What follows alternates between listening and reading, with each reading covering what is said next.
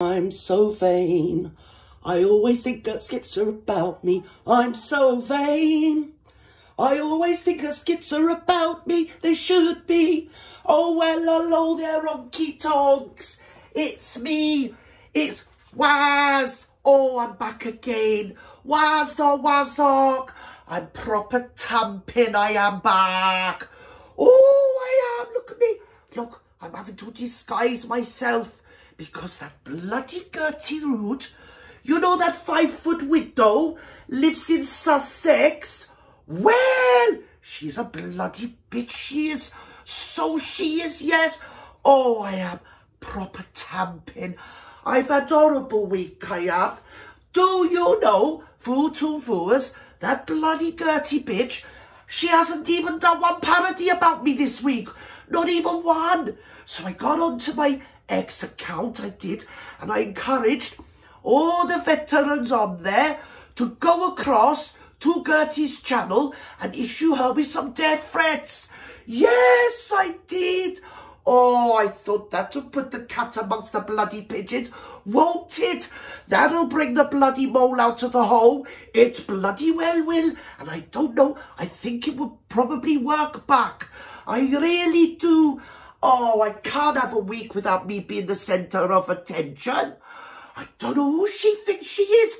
Everybody knows I'm the biggest girl's blouse on the bleeding block, not bloody Gerty Rood. And another thing, I've seen the size of her bloody jugs, and I ain't having that neither.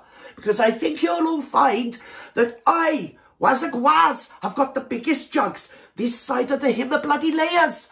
I'm not having that. Going on there, showing off, Oh, I said to them, I said to them on X, all my little, I mean my followers, I said that bloody five foot bloody widow Gerty Rood is being rude about people with PTSD. I mean, she weren't. She weren't. But do know, they're so fake. They just follow anything I say, you see. So they all went across because we all know PTSD is like man flu, you see. Only men can have PTSD. Nobody with a vagina is allowed to have PTSD. They can have period cramps. They can have premenstrual tension. They can have postnatal depression. But they cannot have PTSD or indeed CPTSD.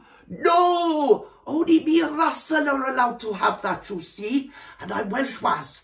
I'm the biggest hypocrite ever known to mankind. I keep a nice little persona on YouTube. But it's like I said the other day when I was walking, mincing around the Brecon Beacons. I did say that when I go on my Twitter with Twatterlanta, I've got a different personality, you see because you can get away with it on there. And the feedback has been that apparently I'm in a sum total of three. Me, Russ and Atalanta are literally the only people that do that. Because most other adults are the same no matter what media platform they are on. But you see, I'm different, I was.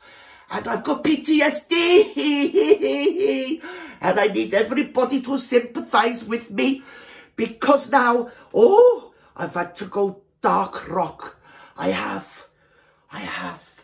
Yes, I'm under the covers. I'm doing covert surveillance on Gerty Rood. Yes, I'm going to have her off. I am. I don't care. I'm proper hard, I am. Oh, I am. I'm Welsh was. I'm hard as bleeding nails. Don't you come for me, you five-foot bleeding widow, telling bloody jokes. Don't know who you think you are. I'm Sergeant Waz, I am. Or was it that way there?